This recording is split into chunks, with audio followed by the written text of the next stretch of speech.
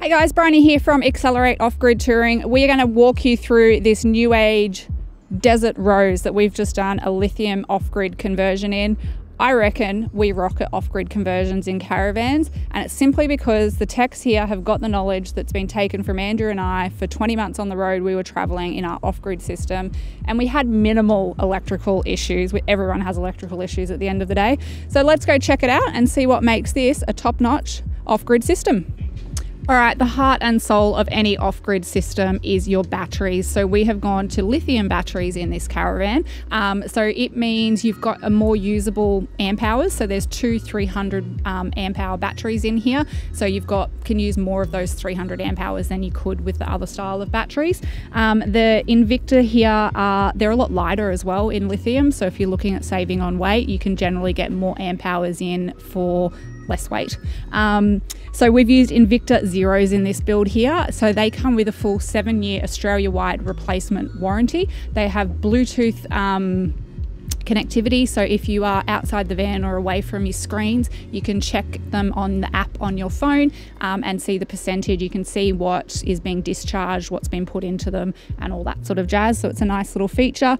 Um, we absolutely love Invicta. We do do them in most of our builds. Um, now, there has been some IEC certifications that came out about two years ago about lithium batteries in an inhabitable space. So they have to be sealed and vented to the outside. So we for this particular build, it depends on the build and the space we're going into. We've custom built a box to go into here and then this lid will go over the top. Screws to keep it all in. It is vented to the outside. So if for whatever reason your batteries fail and there is chemicals being put out um, or there is heaven help us, a fire, um, we're yet to have either of those actually happen inside a caravan, um, then it is sealed and it's also vented to the outside. So they're the new laws that came into effect a couple of years ago. Um, right, now we're going to go check out what I think is the most important off grid part or component of your system the inverter. POV of the EnerDrive 2600 watt transfer inverter. All right, so in this caravan, we've gone with the EnerDrive 2600 watt transfer inverter. Um, so this will allow you to run off-grid appliances, your household 240 volt appliances. So think induction, toasters, kettles, coffee machines, hair straighteners, CPAP machines. Um, I don't know what else you want to run, um, but all those sorts of devices. It will convert the 12 volt power that's stored in your batteries into 240 volt power that will allow you to run all your appliances. Um, it's a transfer inverter, and the way I explain this to people is on pack up. If we've been in a caravan park, because we're on grid, I'm madly trying to do all my washing. Um, Andrew's outside in a hurry to pack up, and he pulls out the mains power cord, the um, cord that is charging all your batteries when you're in a caravan park. I've got a load of washing on, but I don't know that he's pulled out that cable because the transfer inverter just seamlessly goes from mains power or the caravan park power power to 12 volt power in your batteries and you've got no clue about it. Everything just continues working as it was when you go from an on-grid to an off-grid situation.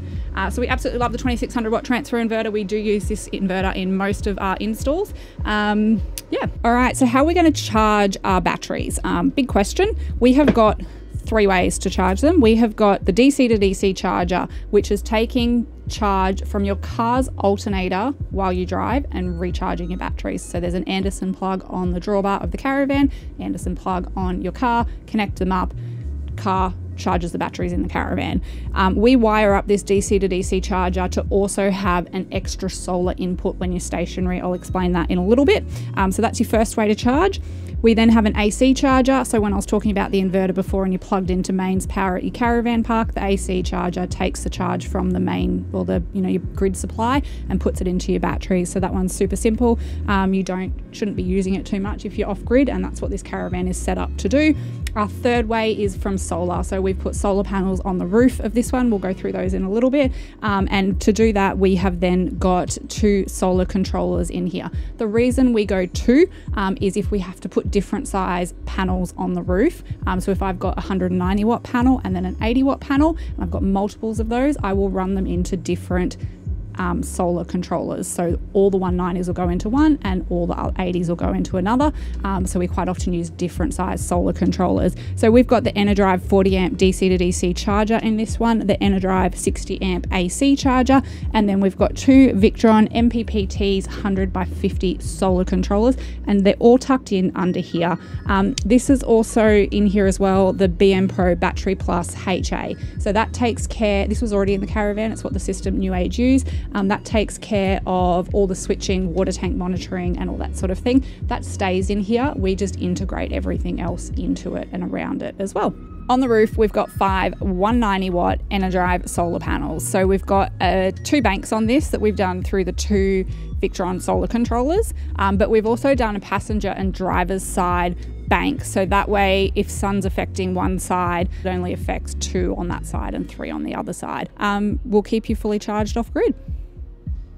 All right, so up here we've got all the screens that monitor and switch everything. The BM Pro one is what was already in the caravan, stays the same. If I tap the screen, you can see it's got the water tank monitoring and I can do my lights on and off from this screen as well, water pump. So haven't touched that. Um, we've just added in up over here an inverter switch. So this is to turn your inverter on and off. I'm not gonna hit that now because we're running the AC. Um, so basically hold this down for a few seconds, it'll beep, inverter goes on, hold it down a few seconds, inverter goes off. And then we've got the ePro screen up here so it's an EnerDrive ePro screen. That's doing my monitoring. So that's the same as what you're going to see in the Invicta app.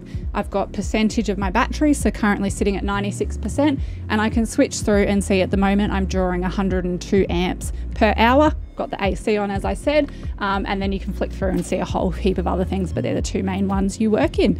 Um, that's about wraps up this New Age install. Uh, so it's full off grid setup in this New Age Desert Rose caravan. Um, if you've got any questions, suggest we should do something better, chuck them in the comments below. Um, check out our other caravan lithium systems up here, and then YouTube really thinks you should watch this one down here. Accelerate off grid touring, powering your adventures.